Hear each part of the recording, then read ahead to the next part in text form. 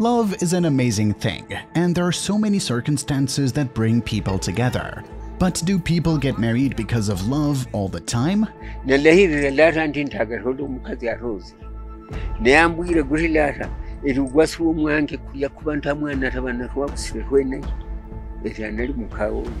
This man's name is Venant, and this woman's name is Anwarit. These two live in the same house as husband and wife, but would you believe me if I told you that they are a stepmother and stepson? iko kweli. Anwarit, whom we can refer to as stepmother, and Venant, who we can also refer to as the stepson, who live together as husband and wife. In other words, this woman is a mother and a wife to his stepson at the same time. into elishiya abamafa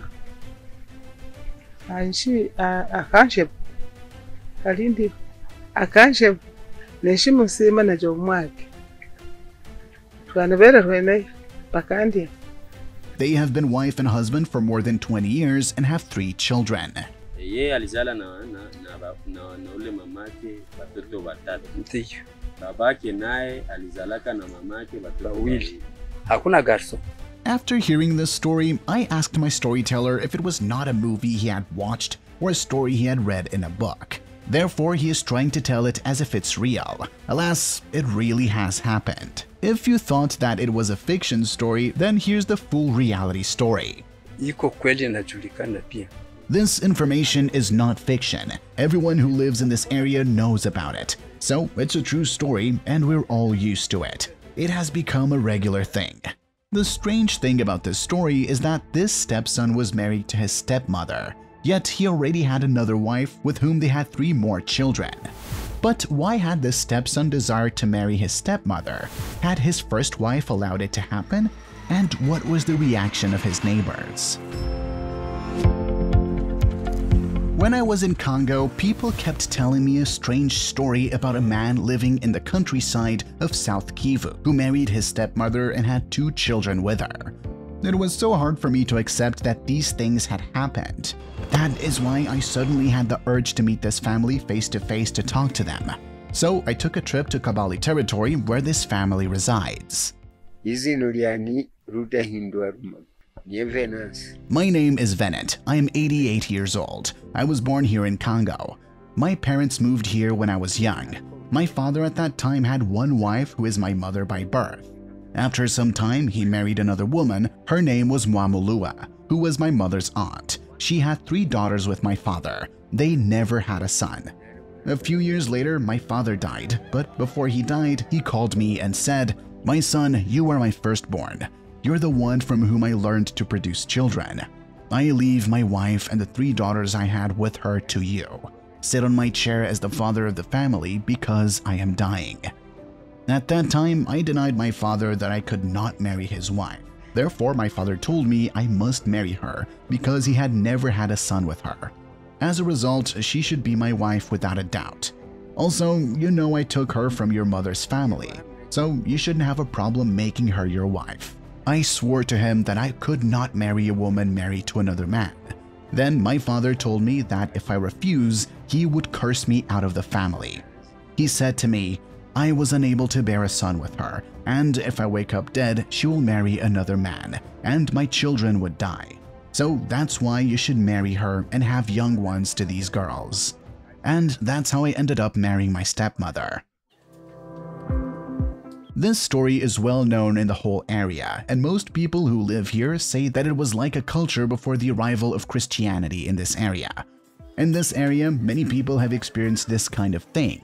However, nowadays, it has changed a lot because some religions came and opposed the tradition of inheriting the father's wife if he dies without giving birth to a son in his second marriage, since men in this area like to marry many wives.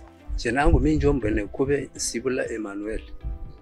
My name is Emmanuel. I know that family and its story because his late father was my servant in the Grand Seminary. He was married to his first wife, but that wife died. Then he married a second wife whom he left to his eldest son. So in the culture at the time, they say that if your father marries another woman, but that woman does not give birth to a son, one of the sons born from the first woman must marry her after the father's death. So this second woman never gave birth to a son in this family.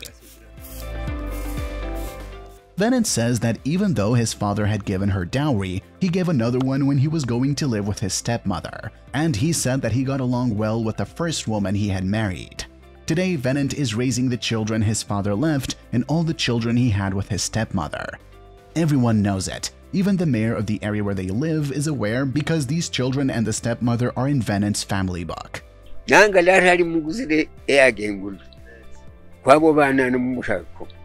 Nange latali muguzire eyagengulu kwabo nani nashubishi mugule yani ngudo ko nani abo babiri nomubushako My father had given a dowry for the three children he had with my stepmother. After my father died when we got married, I also gave another dowry to the two children I had with her. Both of these dowries were accepted by one family. The dowry we offered in our culture equals one cow and four goats. My father had offered a dowry of one cow and five goats. I gave one cow and four goats. However, my stepmother got along very well with my first wife. My name is Anwarit. I got married to Venant after his father's death because my late husband was also his father. When he died, he told me not to leave and that his son would come to get me. Since I felt like I was still young, like my stepson, I had no problem living with him. So I started falling for him and we made a family. Until today, we have two daughters together with the other three elders I had with my late husband. aliwo ule mama na balikuwa naye pale hamkona kanyumba kamoya ka birere eh? ya nyasi mule njo ule tati anakuwa mimi namuita tati These two have reached the age of retirement and live peacefully together. They are a loving couple. In their home, there are old houses that look like they were built in the early years. Even if they still walk around holding hands, it is visible to anyone that they are getting weaker because they're getting older and older. They can no longer do the work of farming and breeding as they used to. Venant insists that his wives have never had any problem with each other, saying that his two wives attend church together, which goes the same for the child. They all live together peacefully.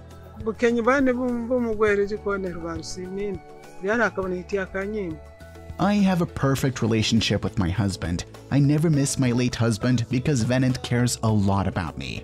He gives me gifts and shops for me.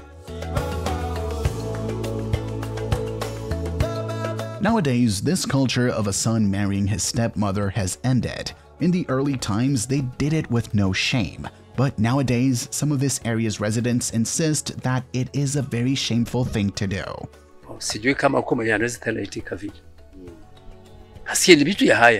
I am pretty sure that nowadays no son would marry his stepmother at all.